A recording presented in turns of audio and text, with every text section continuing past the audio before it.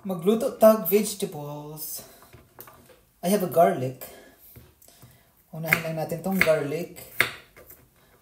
Malinis na lahat eh.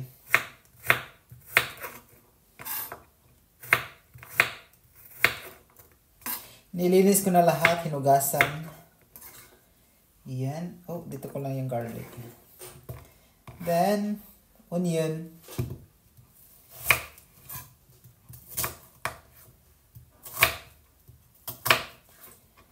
Yung onion dapat malalaki yung hiwa. Ay. And then I have mushrooms. Yeah? Mushrooms. Ito din is siguro mga yan ganyan.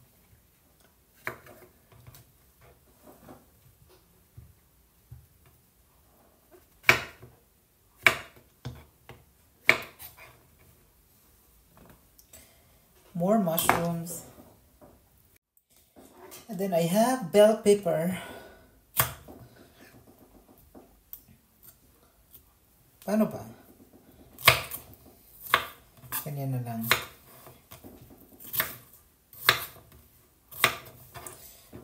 Yan.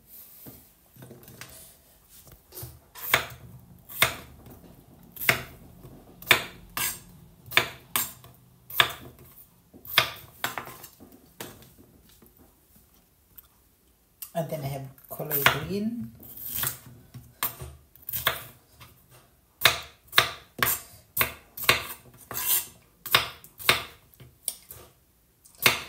So vegetables muna tayo ngayon dahil lagi na lang ako nag ano meat. Pero may meron pa din atong ano pero, meron pa rin itong halong giniling.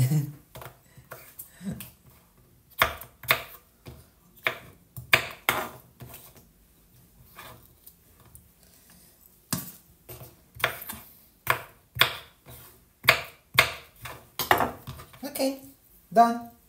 Ay, and then meron akong uh, ano tawag? Tawag nito dito is sweet peas.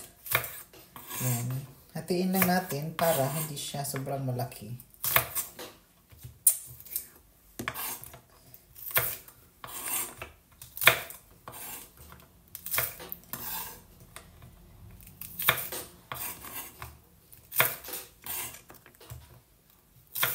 Ang tsaka talaga ng ulan. Actually, may bagyo dito ngayon eh. O, di ba? Kahit sa England may bagyo.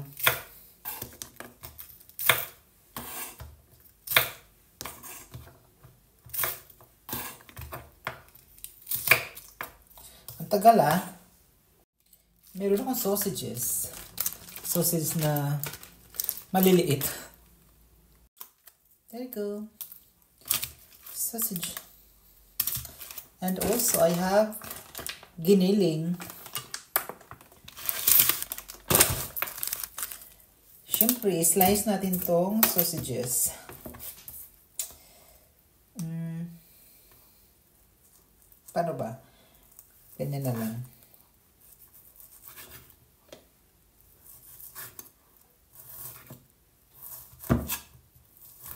Yan.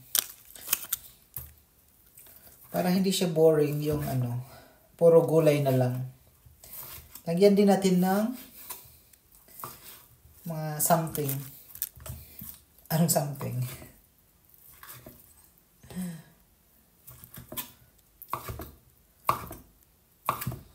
Yan.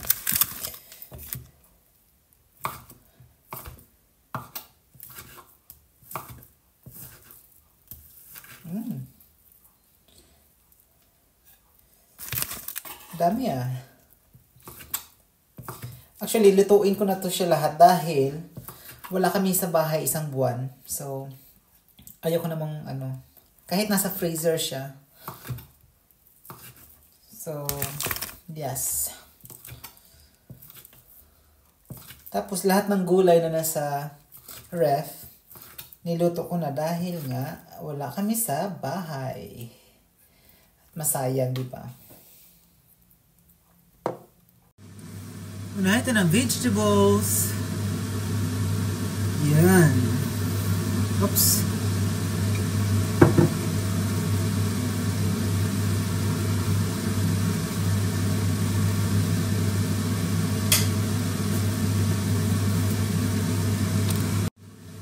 Mushroom first. Ewan ko kung...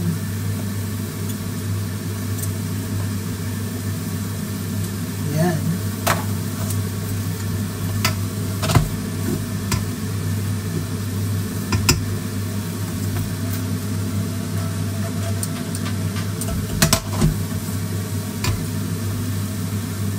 Lagyan natin konti ng asin. Yan, para may lasa.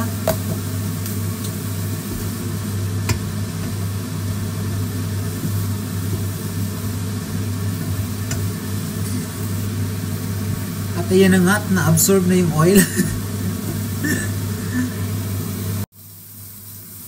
so ayan, malapit na yung mushroom. Then, isunod na natin yung uh, green beans.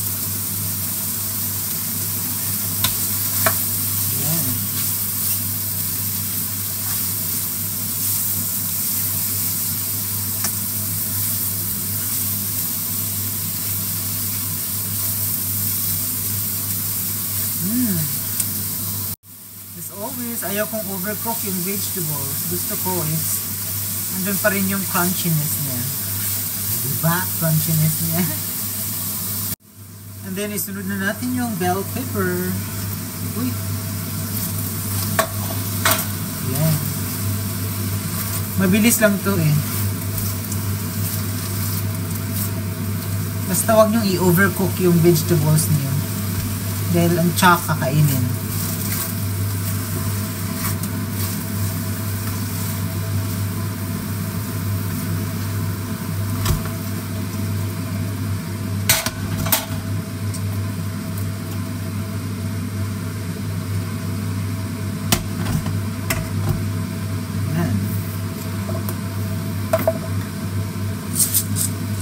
Lagyan ko lang siya ng black pepper.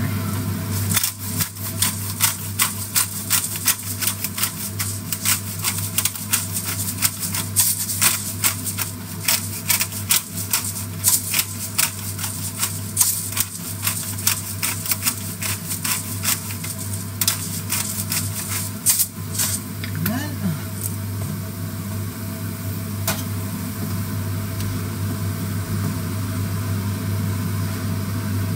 Yung mushroom talaga is mag, mag ano eh, mag tutubig siya eh. May water na lalabas lagi. But never mind.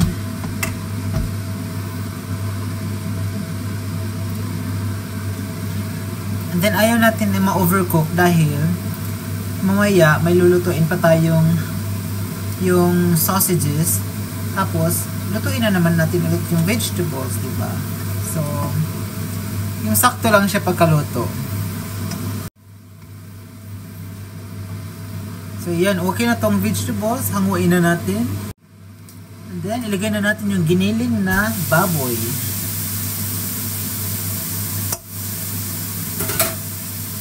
Ayan.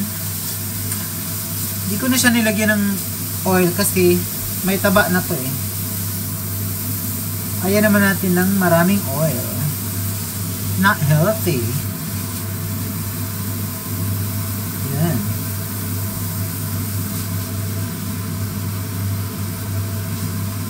Lagyan natin ng black pepper. Yan.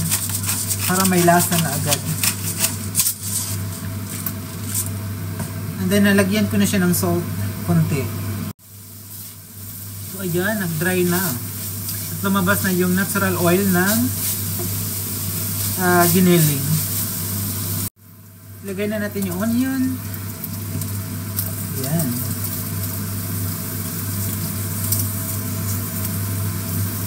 Medyo malaki eh. And then yung garlic. Lagyan na natin yung garlic. Ayan. Haluin, haluin, haluin. Ganyan lang. So, haluin lang natin to.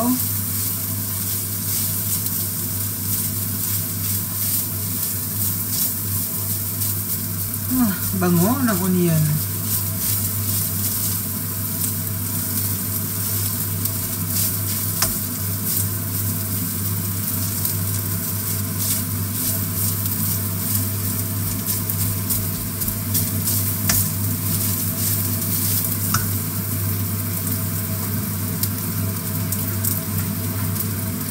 Then, ilagay na natin yung sausages.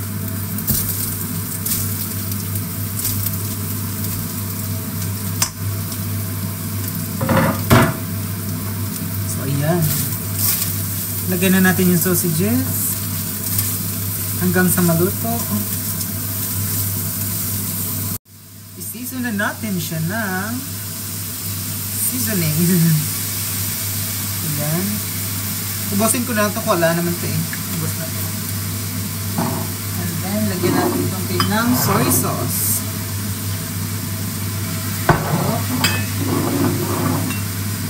And then, oyster sauce. Wala na rin itong oyster sauce.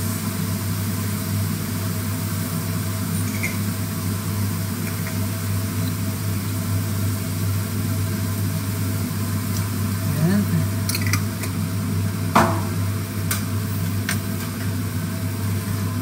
Ayan. And then pag kulang yung asin, dagdagan na lang natin.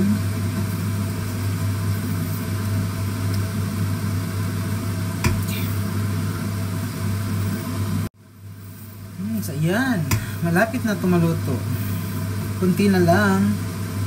At ilagay na natin yung vegetables.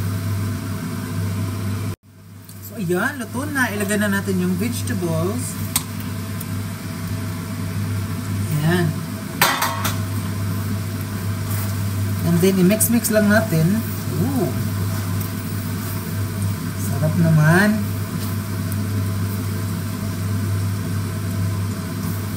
Di ko na lang lang siya, ano, di ko na lang siya nilagyan ng carrots kasi,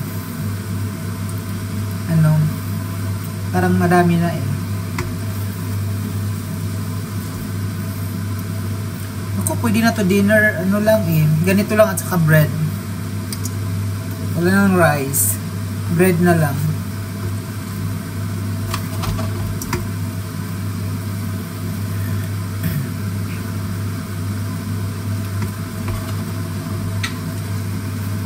Look. Luto na to.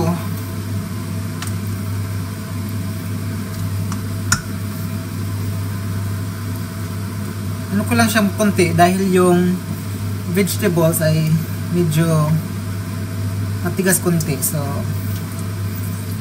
mga 1 minute nito, tapos na.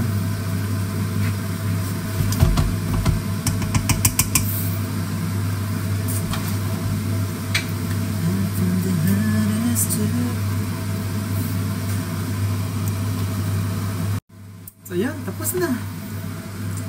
Wala. Bilis. Ganun lang. Turn off na natin.